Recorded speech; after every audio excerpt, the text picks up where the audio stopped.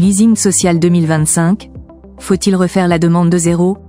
Le leasing social, une initiative du gouvernement pour encourager la transition vers la mobilité électrique, sera reconduit en 2025 après le succès de sa première édition en 2024. Ce programme permet aux ménages modestes de louer une voiture électrique pour 100 euros par mois, avec la possibilité de l'acheter à la fin du contrat de location d'une durée de 3 ans renouvelable.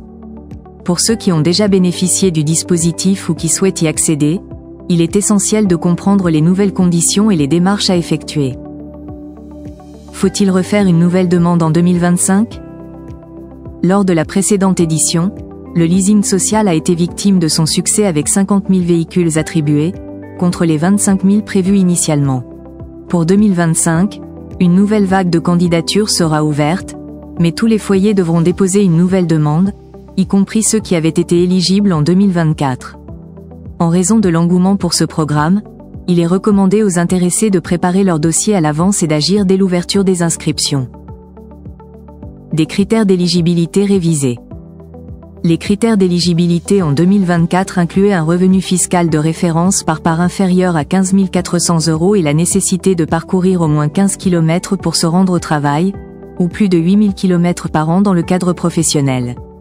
Ces critères devraient être légèrement révisés en 2025 pour mieux s'adapter au profil des foyers le ministre François Durovray a indiqué que l'objectif sera de cibler en priorité les foyers les plus modestes, mais aussi d'élargir l'accès aux familles ayant un usage régulier de leurs véhicules.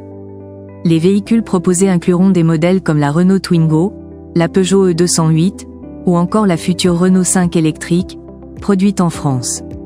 Ces voitures resteront accessibles avec des mensualités réduites, bien que certaines offres puissent atteindre 150 euros par mois pour les modèles de voitures les plus spacieux réduction du budget et impact sur le programme. Le budget alloué au leasing social a été revu à la baisse pour 2025. L'enveloppe passera de 1,5 milliard à 1 milliard d'euros, ce qui aura un impact direct sur le nombre de bénéficiaires. Le gouvernement a confirmé que la sélection des dossiers se fera selon le principe du premier arrivé, premier servi, avec un quota réduit à 20 000 véhicules. Les constructeurs devront également ajuster leur offre pour répondre aux nouvelles contraintes.